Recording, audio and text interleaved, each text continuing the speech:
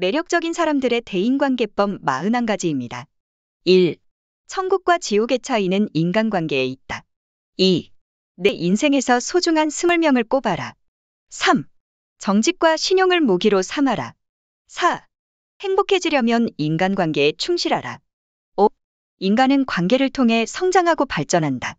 6. 인간은 혼자서는 성공할 수 없다. 7. 가장 가까이 있는 사람이 가장 소중하다. 8. 마음을 열고 자기 자신을 먼저 알려라. 9. 먼저 다가가 호감을 표현하라. 10. 친밀한 협력자 없이는 성공할 수 없다. 11. 매너가 경쟁력이다.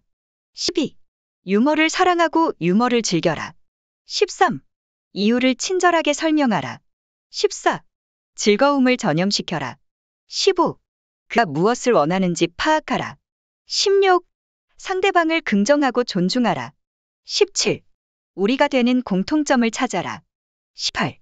좋은 이미지를 가꿔라. 19.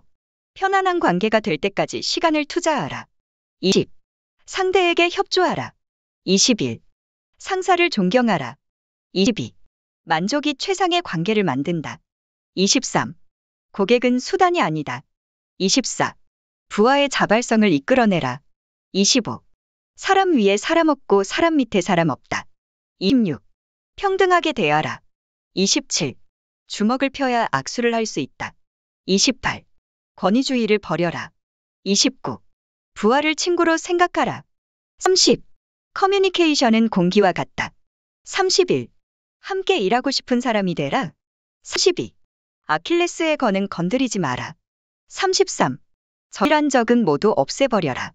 34. 스스로 쾌감을 조성하라. 35. 마음을 열고 솔직하게 대화하라. 36. 감정이 담긴 커뮤니케이션을 하라. 37. 배려하라. 38. 겸손하라. 39. 편견 없이 대하라. 40. 서비스 정신을 갖추어라. 41. 화를 통제하라.